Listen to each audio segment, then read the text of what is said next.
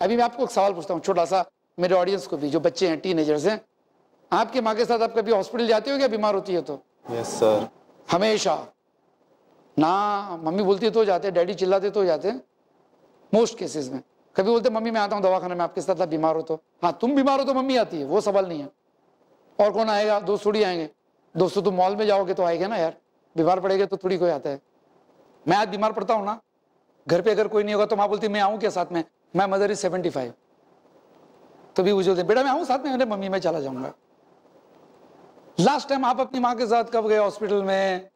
हम जाते हैं, ठीक है। लेकिन पर्टिकुलर जाते हैं क्या? डैडी बोलेंगे तो जाते हैं, कुछ लोग।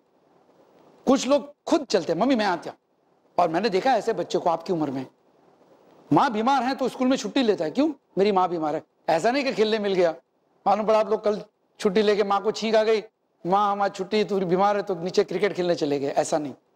वो माँ की खिदमत करने के लिए वो कभी कभी स्कूल नहीं जाते थे। मैं ऐसे बच्चों को जानता हूँ।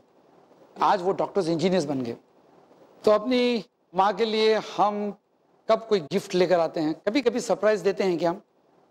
हाँ वो दोस्तों को सरप्राइज़ देते हैं। हाँ बर्थडे है, उसका हम जाके दे देते तोहफे। और कभी कोई फ्रेंड पास हो गया, हम उसे पार्टी देते हैं।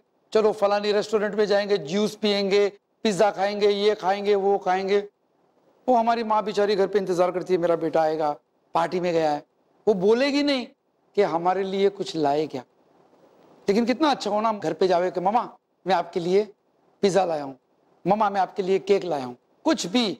आप में से किसको पता है कि अपनी मम्मी की फेवरेट डिश कौन सी है? लेकिन आपकी मम्मी को पता होगा, ना आपकी फेवरेट डिश, बल्कि आपको नमक ज़्यादा पसंद है कि कम पसंद है। आप हरी मिर्ची ज़्यादा खाते हो कि लाल मिर्ची ज़्यादा खाते हो? आपको कड़क चाय पसंद है या नरम चाय पसंद है? आपकी माँ को पता होगा, लेकिन कितना अच्छा हो कि हमको भी पता चले कम से कम इतना कि हमारी मम्मी की फेवरेट डिश कौन सी है? मोस्टली हम पूछेंगे, भाई, क्या?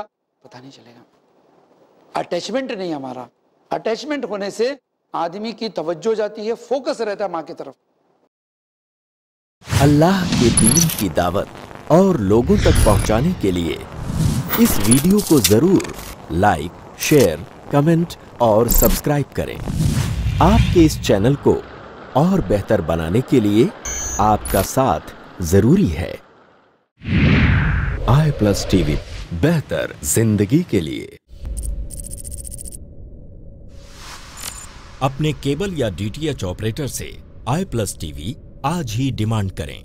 I plus TV, free to air और इंडियन रजिस्टर्ड चैनल है।